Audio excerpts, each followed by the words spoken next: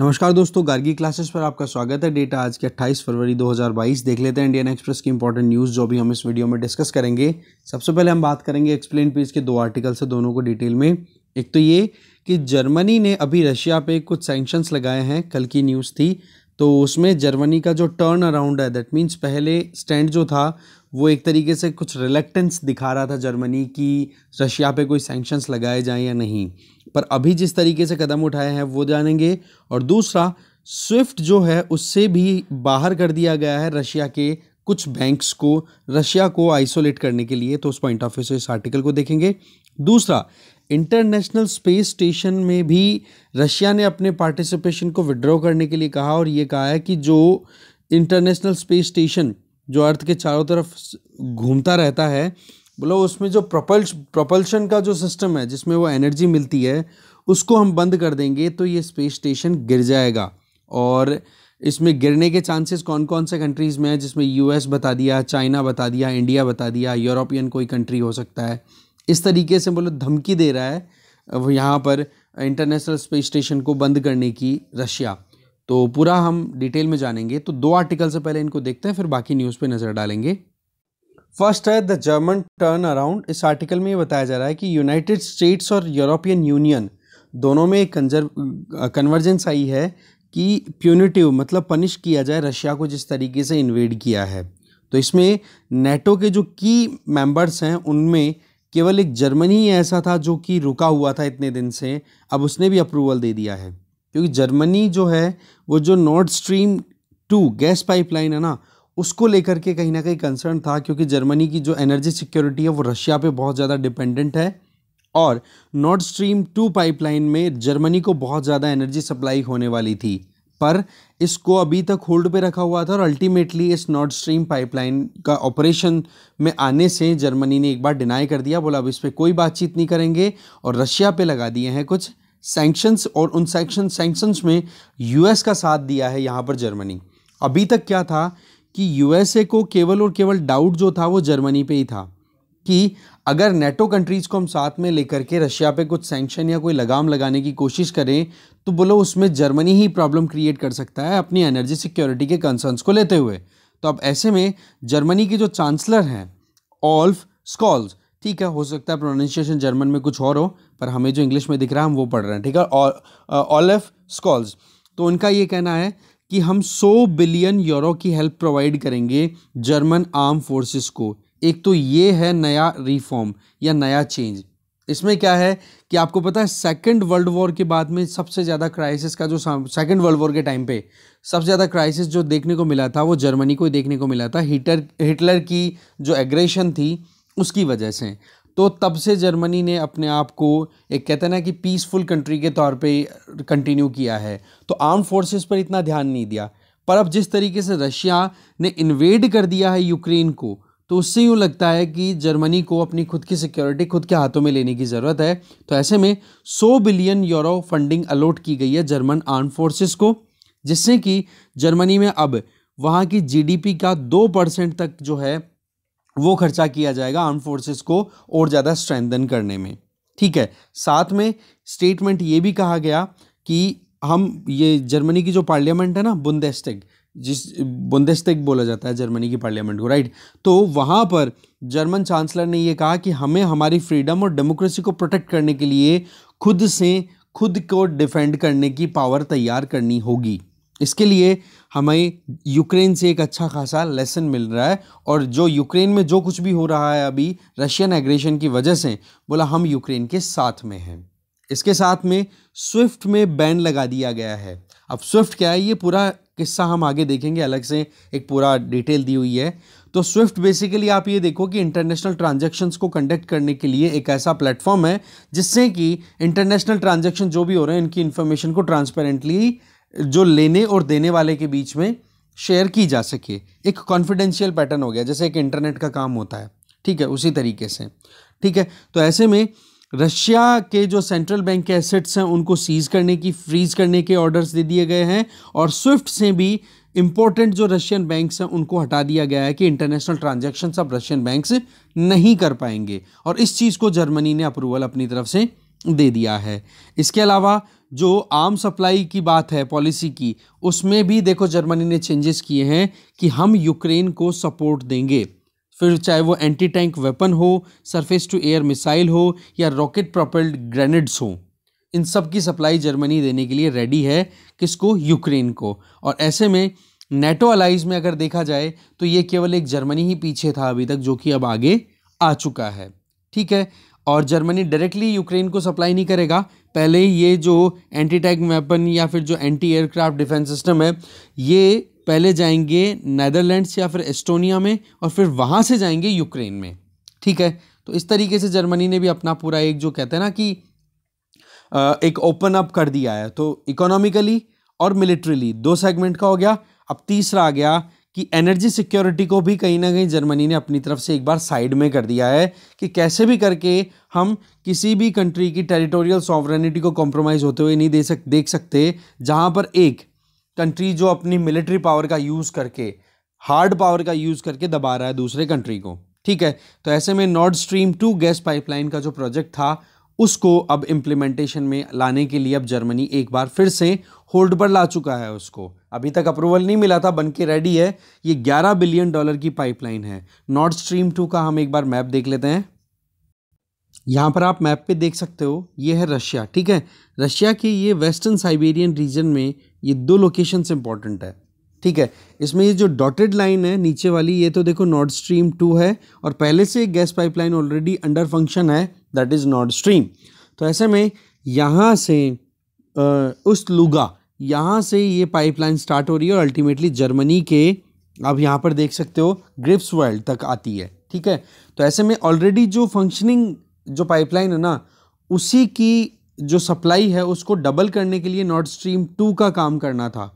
पर वही चीज़ है ये कंप्लीट हो गई बन के, ग्यारह बिलियन डॉलर का ये प्रोजेक्ट था कंप्लीट है बट अंडर ऑपरेशन तब आएगा जब जर्मनी अप्रूवल देगा, पर जर्मनी ने इस पर अप्रूवल देने से मना कर दिया। बेशक जो प्रीवियस रिजीम था फॉर एग्जांपल एंजेला मॉर्किल की जो गवर्नमेंट थी वहाँ पर, जब वो वहाँ की चांसलर थी तो उन्होंने अपनी तरफ़ से बहुत कोशिशें की थी कि कैसे भी करके नॉर्थ स्ट्रीम टू को अप्रूवल मिल जाए। पर अब, अभी चेंज हो गए, वहाँ पर चांसलर चेंज हो गए, और ये जो सिचुएशन जो अभी दिखाई हो गई, जिसमें रशिया ने इन्वेड कर दिया यूक्रेन को, इस वजह से फिर अब वहाँ पर ऑप्शंस अब और ज़्यादा क्लोज हो गए। ठीक है? तो ये बेलारूस है और ये यूक्रेन है। इधर से इधर से अटैक हो ही रहा है यूक्रेन पे। ठीक है? तो ये है मुद्दा पूरा का पूरा, जिसमें हमें देखना था। बाकी ये देख सकते हो, एस्टोनिया, लाटविया, लिथुआनिया, ये ये है बाल्टिक सी। ठीक है ना? इससे कनेक्टेड और ये पोलैंड हो गया। ऊपर स्वीडन, इधर फिनलैंड। आगे चलते हैं। नेक्स्ट है, स्विफ्ट है क्या? और कैसे रशिया को ये लिमिट कर रहा है अपनी इंटरनेशनल जो भी एक्सेसिबिलिटी है उसमें? देखो यूएस और यूरोपियन यूनियन ने अपनी तरफ़ से पहले ही क्लियर कर दिया कि जो इकोनॉमिक सेंक्शंस हैं, वो हमें लगाने हैं कैसे भी करके क्योंकि रशिया ने जिस तरीके से इन्वेजन किया है, उसको एक बार दबाव में लाने के लिए। तो स्विफ्ट में बेसिकली एक ये इंटरनेशनल पेमेंट गेटवे है। इसका मतलब ये हो गया कि दो कंट्रीज़ के बीच में इंटरनेशनली अगर ट्रांजैक्शन होता है तो बैंकों के थ्रू होता है और वो बैंक्स जो हैं, मान लो एक एक्स बैंक है जो कि यूएसए में ऑपरेट करता है, एक वाई बैंक है जो कि रशिया में ऑपरेट करता है। अब इंटरनेशनल ट्रांजेक्शन्स हो रहे हैं ट्रेड होता है तो इन दोनों के बीच में जो पेमेंट होगा, वो पेमेंट से पहले एक वेरिफिकेशन प्रॉपर होना चाहिए कि हाँ जी वाई को जो आप पेमेंट कर रहे हो, वो उसी यूज़र के लिए जा रहा है ना, जिस यूज़र के पास में आपको पहुंचाना है, या जिस अकाउंट होल्डर के पास में पैसा पहुंचाना है, और एक्स के पास में ये इन्फॉर्मेशन जो है, वो अवेल कौन कराएगा? स्विफ्ट इससे क्या होता है? एक ट्रांसपेरेंट मैनर में ट्रांजेक्शन्स कंडक्ट करने पॉसिबल हो पाते हैं। तो अब ये स्विफ्ट की एक्सेसिबिलिटी अगर जिस तरीके से रशिया के अलग अलग बैंक्स में बंद कर दी गई है ना, इससे क्या हो जाता है कि वहाँ पर रशियन बैंक्स अब ट्रांजेक्शन्स नहीं कर पाएँगे। अभी तक अगर देखें तो ईरान एक ऐसा कंट्री है जिसको स्विफ्ट से एक्सेसिबिलिटी बंद कर रखी है और जिसकी वजह से जो फॉरेन ट्रेड था ईरान का, वो बहुत ज़्यादा डिक्लाइन कर गया था। और ऐसा ही कुछ अभी रशिया पर दबाव बनाने के लिए ये स्विफ्ट फैसिलिटी को भी बंद करने की बात की है और इसमें अप्रूवल भी मिल गया है यूएस और यूरोपियन यूनियन की जो मेंबर्स हैं उनके द्वारा। तो स्विफ्ट बेसिकली क्या है? इसकी फुल फॉर्म होती है society for world wide inter bank financial telecommunication. ये एक सिक्योर प्लेटफॉर्म है जिसमें फाइनेंशियल इंस्टीट्यूशंस के बीच में इंफॉर्मेशन को एक्सचेंज करने की फैसिलिटी अवेलेबल होती है। जब कभी भी दो फाइनेंशियल इंस्टीट्यूशन जो कि अलग अलग कंट्रीज़ में लोकेटेड हैं, अगर वो कोई भी मॉनेटरी ट्रांजैक्शंस को कंडक्ट करना चाहे तो। ठीक है? तो इस तरीके से ये कोई मिडिल मैन की तरह काम नहीं करता। इस तरीके ट्रांजेक्शन को ट्रांजेक्शन्स को कंडक्ट कराने के लिए कोई इस तरीके से नहीं होता कि हाँ जी मनी इसमें से मूव होती है। ट्रांजेक्शन होता तो दोनों बैंकों के बीच में, पर एक एक होता ना कॉन्फिडेंस दिलाना, वो। तो अगर हम देखें फाइनेंशियल मैसेजिंग सर्विस प्रोवाइड करता है बेसिकली ये राइट 200 कंट्रीज़ से ज़्यादा कंट्रीज़ में ऑपरेट करता है और लगभग ग्यारह हज़ार से ज़्यादा जो इंटरनेट बैंक हैं, पूरे दुनिया में चलने वाले, उनमें ग्यारह हज़ार से ज़्यादा बैंक इस फैसिलिटी का यूज़ करते हैं। ठीक है? इसके अलावा स्विफ्ट का हेडक्वार्टर कहाँ पर लोकेटेड है? मेन ऑपरेशन कहाँ से होते हैं? बेल्जियम से। और इसके अलावा आप देख सकते हो, इसमें जो पार्टिसिपेशन है वो 11 इंडस्ट्रियलाइज कंट्रीज़ का है जो ओवरसी करते हैं। दैट मीन्स जो ऑपरेट करते हैं इस पर्टिकुलर प्लेटफॉर्म को, जिनमें और कौन कौन से कंट्रीज़ हैं? ये सारे के सारे वेस्टर्न कंट्रीज़ हैं या फिर जो इंडस्ट्रियलाइज कंट्रीज़ हैं, जिनमें जापान आप छोड़ दो, जो कि ईस्ट एशिया में है। इसके अलावा Canada France Germany Italy Netherland Sweden Switzerland United Kingdom और बेल्जियम खुद आ गया। बाकी यूएस और जापान ये दो और ऐड कर दो। ऐसे टोटल ग्यारह इंडस्ट्रियलाइज कंट्रीज़ हैं जो ऑपरेट करवाते हैं स्विफ्ट को, और ये लोकेटेड कहाँ पर है? स्विफ्ट मेन जो है वो बेल्जियम में। तो बेल्जियम का नाम इसीलिए आ रहा था। इम्पैक्ट क्या होगा? सीधी सी बात है इंटरनेशनल ट्रेड पे इम्पैक्ट आएगा सीधा। तो ऐसे में रशिया ने वैसे अपनी तरफ़ से इंटरनेशनली सेंक्शंस लगने के लिए प्रपरेशन तो कर रखी थी कि अगर हम एग्रेशन दिखाएँगे यूक्रेन में तो हमें इंटरनेशनली आइसोलेट करने की कोशिश करेंगे। तो रशिया के पास में अगर अभी फॉरेन एक्सचेंज रिज़र्व देखें तो वो है लगभग सिक्स थर्टी बिलियन डॉलर के लगभग। ठीक है? तो ऐसे में मॉस्को को कॉन्फिडेंस तो है कि अगर सैंक्शंस थोड़े लंबे भी चलेंगे तो कोई इशू नहीं है। ठीक है? हमारे पास में इतना है अमाउंट कि हम एक बार टाइम निकाल लेंगे।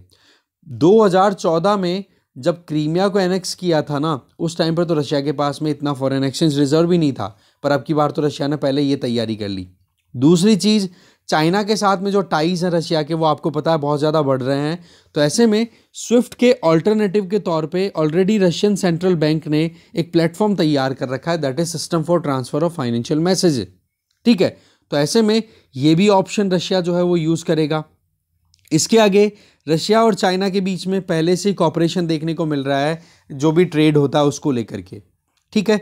तो अब देखने वाली बात यह है कि अभी जो है वो स्विफ्ट में जो बैन लगाया गया है रशियन बैंक्स पे, उनमें कुछ बैंक्स पर ही फोकस किया गया है। अभी हंड्रेड परसेंट बैन नहीं लगाया गया है रशिया के सारे बैंक्स पे। कुछ बैंक्स को ही आइसोलेट किया गया है। पर वही चीज़ है कि अगर रशिया इस तरीके से अग्रेशन दिखाएगा तो लॉन्ग टर्म में देखने वाली बात है कि क्या स्विफ्ट में परमानेंट ही एक बार रशिया को बिल्कुल बंद कर दिया जाएगा रशियन बैंक्स को ट्रांजेक्शन लेने के लिए। पर वही चीज़ है कि अब देखने वाली बात है कि इस, इन सैंक्शंस का क्या रशिया पे कोई असर पड़ेगा? वैसे हमने पहले एक आर्टिकल डिस्कस भी किया था कि सैंक्शन से रशिया पे या व्लादिमिर पुतिन पे इतना कोई असर पिछली बार भी देखने को नहीं मिला था। अब की बार भी कुछ खास लग नहीं रहा है। पर जो देखना था हमें, वो हमने देखा। आगे चलते हैं अभी। नेक्स्ट आर्टिकल है इंटरनेशनल स्पेस स्टेशन से रिलेटेड देखो, रशिया की जो स्पेस एजेंसी है, उसके जो हेड हैं चीफ उनका नाम है दिमित्री रोगोजिन। उन्होंने अपनी तरफ़ से ये कहा है कि यूक्रेन में जिस तरीके से रशिया ने इन्वेड किया है और इस इन्वेजन को अगर वेस्टर्न कंट्रीज़ इस तरीके से क्रिटिसाइज़ करेंगे, रशिया पे सैंक्शंस लगाएँगे तो इंटरनेशनल स्पेस स्टेशन से हम हमारा सपोर्ट जो है वो निकाल लेंगे। और उसकी वजह से ये हो जाएगा कि जो इंटरनेशनल स्पेस स्टेशन है, जिसका वज़न है लगभग 420 टन और जिसकी साइज़ है एक बहुत बड़े फुटबॉल ग्राउंड के बराबर तो ऐसे में उसको जो प्रोपल प्रोपल्शन सिस्टम है प्रोपल्शन सिस्टम मतलब कि जो ये स्पेस स्टेशन अर्थ के चारों तरफ़ रोटेट करता है ना तो ये बिल्कुल फ्री नहीं है। अगर ज़ीरो ग्रेविटी की बात करें तो हंड्रेड परसेंट ज़ीरो ग्रेविटी नहीं है। वहाँ पर थोड़ी बहुत ग्रेविटी का इम्पैक्ट है अर्थ की का। तो उसको रोटेट करने के लिए कुछ एनर्जी कुछ फ्यूल की रिक्वायरमेंट होती है। और वो जो फ्यूल सिस्टम है, उसी को प्रोपल्शन सिस्टम बोलते हैं।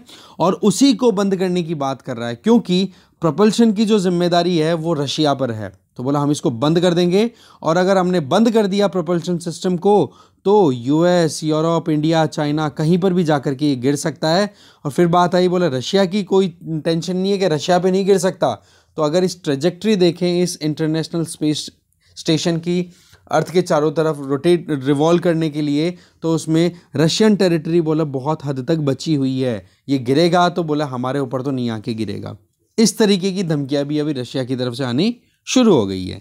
तो ऐसे में आई जो प्रोजेक्ट है, ये बेसिकली आप देखो अर्थ के चारों तरफ़ रोटेट रिवॉल्व करता है राइट 400 किलोमीटर की हाइट पे ये। ठीक है? इसमें टोटल पंद्रह कंट्रीज़ हैं, जिनमें यूएस रशिया कनाडा जापान ये तो हैं ही। बाकी यूरोपियन स्पेस एजेंसी के भी कुछ मेंबर कंट्रीज़ हैं। तो ऐसे में ये मल्टीनेशनल प्रोजेक्ट है। फुटबॉल के ग्राउंड एक ग्राउंड के बराबर ये है ही साइज़। स्पीड कितनी है इसकी? ये देख लो, अट्ठाईस हज़ार किलोमीटर पर आर के हिसाब से रोटेट करता है, ठीक है? रिवॉल्व करता है अर्थ के चारों तरफ़। और एक चक्कर लगाने में सिर्फ़ ये डेढ़ घंटा लगाता है। इसका मतलब एक दिन में वो सोलह घंटे तक, सोलह चक्कर तक लगा लेता है ये अर्थ के। दूसरा, ये स्टार्ट हुआ था 1998 में, ठीक है? और इसमें अभी तक देखें तो लगभग बहुत सारे एस्ट्रोनॉट्स आके मतलब वहाँ पे जाके आ चुके हैं या फिर काम करते रहे हैं तो लगभग 19 कंट्रीज़ के 240 एस्ट्रोनॉट्स ठीक है, वो वहाँ पर जा चुके हैं, या फिर अभी काम कर रहे हैं। अभी काम कर रहे हैं, उनके नंबर्स तो केवल सेवन है, बाकी आके जा चुके हैं लगभग टू फोर्टी ठीक है ना? अब जो सात जने काम कर रहे हैं, उनमें से चार तो यूएस के हैं, दो रशिया के हैं और एक जो है वो जर्मनी से तो ऐसे सात जने हो गए। अब देखो यहाँ पर ये ज़ीरो ग्रेविटी पे ऑपरेट कर नहीं रहा है तो इसलिए उसको कुछ ना कुछ एनर्जी की रिक्वायरमेंट होती है और वो एनर्जी सप्लाई का काम कौन कर रहा है, आपको पता है, रशिया का। अच्छा ये कोई पहला स्पेस स्टेशन नहीं है। इसके पहले भी रशिया ने रशियन मिर स्पेस स्टेशन लॉन्च किया था, जो कि 1980s के टाइम पे ऑपरेट करता था और अमेरिका का भी स्पेस स्टेशन हुआ करता था अमेरिकन स्काई लैब फिर जो इंटरनेशनल स्पेस स्टेशन है, ये ऑपरेट होने शुरू हो गया 1998 में तो तब से लेकर अभी तक ये कंटिन्यू कर रहा है और इसमें हमने देखा पंद्रह के लगभग कंट्रीज़ का कंट्रीब्यूशन है और ये 2028 तक जहाँ तक एक्सपेक्टेड है, अपनी ऑपरेशंस को कंटिन्यू करेगा। अब देखो, इसके अलावा ये जो इंटरनेशनल स्पेस स्टेशन है, इसके अलावा चाइना और इंडिया भी अपनी तरफ़ से एफर्ट्स कर रहे हैं कि अपने खुद के एक स्पेस स्टेशन लॉन्च किए जाएँ। और चाइना ने तो ऑलरेडी प्रोटोटाइप्स का जो ट्रायल है, वो लिया, कर भी लिया है दो बार, ठीक है? अब रशिया का जो थ्रेट है, वो मैं आपको पहले ही बता चुका हूँ। प्रोपल्सन वाला जो सिस्टम है, उसको बंद करने की बात कर रहा है। पर इसी टाइम पर जो स्पेस एक्स स्पेस एजेंसी जिससे आपको पता है एस्ट्रोनॉट्स को भेजा भी जाता है और बहुत सारे सैटेलाइट्स को भी लॉन्च करते हैं। एलोन मस्क जो हैं, उसके हेड तो उनका ये कहना है कि अगर रशिया प्रोपल्शन सिस्टम को बंद करने की धमकी दे रहा है ना तो आप चिंता मत करो, मेरी कंपनी स्पेस एक्स है, ये ऑपरेशन को कंटिन्यू करेगी तो टेंशन लेने की ज़रूरत है नहीं। ठीक है, यूक्रेन के क्राइसिस को लेकर के ये सारा हो रहा है, ये हमें पता ही है सारा, ठीक है? इसके अलावा रशिया ने ये भी धमकी दी है कि हम यूएस के साथ में आप कोलोबरेट नहीं करेंगे वीनस को एक्सप्लोर करने में। ठीक है वीनस के लिए एक प्रोजेक्ट पे काम कर रहे हैं रशिया और यूएस दोनों मिलकर के, जिसका नाम है वेनेरा डी मिशन ठीक है ना? जो कि दो हज़ार उनतीस में सेंड करना था। पर उसमें अभी ये जो यूक्रेन क्राइसिस के चलते रशिया ने ये बोल दिया, हम यूएस के जो यूएस की जो पार्टनरशिप है, उसको एक्सक्लूड करेंगे, हम हमारा खुद का प्रोजेक्ट लॉन्च करेंगे. तो ये सिचुएशन अभी चल रही है स्पेस एरियाज़ में जो कॉन्फ्लिक्ट है, जो बढ़ता चला जा रहा है उसको लेकर के। ठीक है? आगे चलते हैं। बाकी वर्ल्ड पेज फ्रंट पेज पे इतनी कोई इंपॉर्टेंट न्यूज़ थी नहीं तो हम सीधा पेज नंबर थ्री पे आ गए हैं। देखो, मुंबई में, मुंबई से नवी मुंबई दोनों के बीच में वाटर कनेक्टिविटी इंश्योर करने के लिए 17 फरवरी को एक वाटर टैक्सी सर्विस है, वो लॉन्च की गई थी। पर अभी तक 17 फरवरी से अभी तक 11 10 11 दिन हो गए ना 10 दिन में केवल तीन ट्रिप्स ही हो पाई हैं। मतलब तीन बार ही ये जो फेरीज़ हैं, ये जाके आ पाई हैं। इसका मतलब क्या हुआ कि अभी तक ये प्रोजेक्ट जो था, जितना सोच करके लॉन्च किया गया था कि भाई मुंबई से नवी मुंबई अगर कोई जाता है, ट्रेन से जाता है तो उसको कितना महँगा पड़ता है, कोई टैक्सी लेकर के जाता है तो बहुत महँगा पड़ता है तो उसके बजाय ये वाटर कनेक्टिविटी अगर देंगे तो सस्ता पड़ेगा। बट सवाल ये है कि यहाँ पर आउटकम जो है, लोग जो है वो बहुत कम इंटरेस्टेड दिखे यहाँ पर। ठीक है ना? तो इस चीज़ को रिव्यू करने की बात की जा रही है कि महाराष्ट्र मेरीटाइम बोर्ड के जो सीईओ हैं, अमित सैनी, उन्होंने ये कहा कि दो मार्च को हम रिव्यू मीटिंग करेंगे, तब देखेंगे। तो ये वाटरवेज के लिए कनेक्टिविटी इंश्योर करने की बात की गई थी। पर अभी तक तो देखो ये इतना सक्सेसफुल रहा नहीं है। तो ये चीज़ थी छोटी सी न्यूज़ राजस्थान रिलेटेड न्यूज़ के लिए मैं अलग से एक वीडियो बनाऊँगा। इसके आगे देखें। वर्ल्ड पेज के पे वही चीज़ फिर से आ रही है। रशिया ने, रशिया को स्विफ्ट से बैन करने वाली हमने देख ली है। डिटेल में ज़्यादा कुछ ज़रूरत है नहीं। जर्मनी ने अपने खुद के आर्म फोर्सेस को टेन बिलियन यूरोस देने की बात की। ये भी हम देख चुके हैं। इसराइल ने कहा है कि हम यूक्रेन और रशिया के बीच में मीडिएशन करेंगे। ठीक है, चलो ठीक है। ईरान, जो कि रशिया का सपोर्टर कंट्री है, वहाँ पर भी प्रोटेस्ट हो रहा है और चाइना में पुतिन द ग्रेट का जो स्लोगन है, वो फ़ेमस हो रहा है। पर हाँ चाइना से भी ऐसी न्यूज़ निकल के आ रही है कि जिन लोगों ने पुतिन को क्रिटिसाइज़ किया, उन लोगों को गिरफ़्तार किया गया है। इसके अलावा एक इंपॉर्टेंट न्यूज़ इधर देखो। यूएसए के साथ में नेपाल की एक 500 मिलियन डॉलर की एक डील है, जो कि पेंडिंग चल रही थी। और उस पेंडिंग डील को अभी 28 फरवरी से पहले पहले अप्रूवल देना था नेपाल की पार्लियामेंट को। बहुत ज़्यादा लंबा खिंचा ये मुद्दा, पर अल्टीमेटली नेपाल पार्लियामेंट ने 500 मिलियन डॉलर की जो ये प्रोजेक्ट थी, जिसमें डील है यूएस और नेपाल के बीच में, उसको अप्रूवल दे दिया गया है। इसमें देखो 400 किलो वोल्ट किलो वोल्ट की पावर सब स्टेशन क्रिएट करनी है ट्रांसमिशन लाइन ये बनानी है। तो ऐसे में यूएसए का भी कंट्रीब्यूशन अब नेपाल के इंफ्रास्ट्रक्चरल डेवलपमेंट में आ जाएगा। तो ऐसे में ये हम हमारे पॉइंट ऑफ़ व्यू से देखें ना तो थोड़ा ठीक है, क्योंकि चाइना की जो डोमिनेंस थी ना, उसको काउंटर करवाने के लिए यूएसए का अगर इन्वेस्टमेंट वहाँ पे जाता है तो उसमें हमें ठीक लगे। हमारे लिए थोड़ी कंफर्टेबल न्यूज़ हम इसको कंसिडर कर सकते हैं। ठीक है, एक तो ये। इधर नॉर्थ कोरिया न्यूक्लियर ये बैलिस्टिक मिसाइल्स हैं, वो टेस्ट कर रहा है लगातार। ठीक है जी तो ये भी पता नहीं कौन सी सनक में चल रहा है अभी ये इंसान। ठीक है, ये एक और बात हो गई। इसके आगे देखें। इकोनॉमी पेज पे इतनी कोई एक भी इंपॉर्टेंट न्यूज़ नहीं है जिसे हमें देखना हो। ठीक है ना?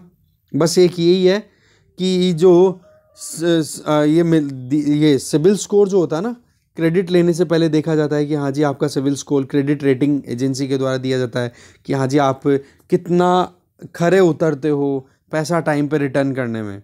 तो ये सिविल स्कोर का मिसयूज़ किया जा रहा है। कुछ हैकर्स या कुछ कह सकते हैं ना कि गलत लोगों के द्वारा लोन लेने में एनबीएफसी जो नॉन बैंकिंग फाइनेंशियल कंपनीज़ है वो, या फिर जो फिनटेक फॉर्म्स है जैसे धनी और ये नाम आपके पास में आते हैं, कई एडवर्टीजमेंट तो इनसे लोन उठाने के लिए क्या करते हैं वो कि दूसरों की आईडी का यूज़ करते हैं, पैन नंबर चुराते हैं और फिर उससे लोन ले लेते हैं। और जिसका पैन है, जिसके पैन नंबर से वो लोन लिया जा रहा है ना, उसको ये भी नहीं पता है कि मेरा पैन कार्ड यूज़ किया जा रहा है। अब क्या हो रहा है, ये चीज़ पता कैसे पड़ी? जब मान लो ये धनी का यहाँ पर एग्ज़ाम्पल दिया हुआ है, धनी से पैन कार्ड यूज़ करके और लोन ले लिया। अब धनी को टाइम पे ईएमआई नहीं पहुँच रही है तो धनी क्या करेगा? इस पैन कार्ड होल्डर के पास कॉल करेगा कि भैया आपको हमने इतने रुपए का लोन लिया था, आपकी ईएमआई थी, आपने रिटर्न क्यों नहीं किया? फिर बंदे को पता पड़ता है कि मेरे नाम से लोन भी उठ गया। और खर्च भी हो गया पैसा और ईएमआई भी आ गई।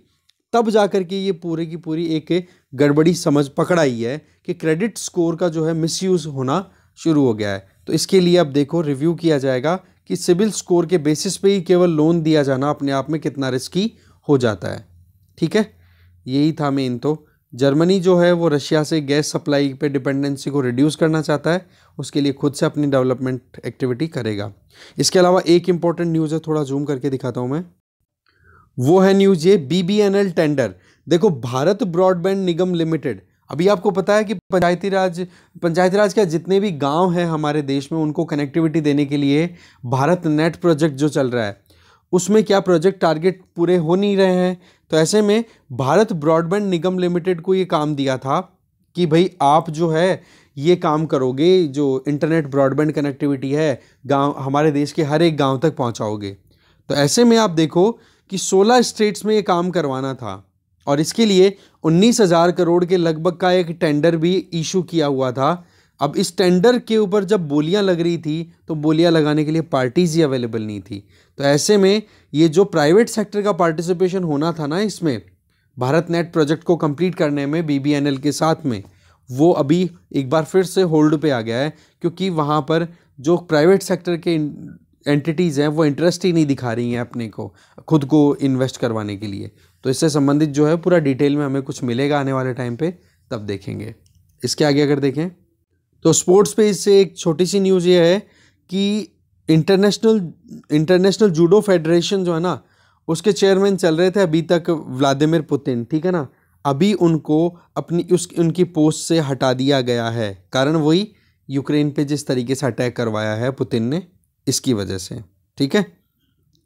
और ये तो बाकी कंटिन्यू है कि इंडिया ने लगातार 12 टी ट्वेंटी इंटरनेशनल जीत लिए हैं। ठीक है, लगातार सक्सेसिव ये अपने आप में वर्ल्ड रिकॉर्ड अफ़गानिस्तान के नाम में उस, उसकी बराबरी कर ली है। ठीक है? यही थी मेन मेन चीज़ें जो भी न्यूज़ थी, वो हमने देख लिया थैंक यू वेरी मच और एक, मैंने अपडेट डाला था वैसे, पर मैं उस पर थोड़ा रिव्यू कर रहा हूँ कि पेड कोर्सेज़ का कैसे, क्या स्टार्ट करें। ठीक है? वो बाद में अपन बात कर लेंगे। ठीक है? Thank you very much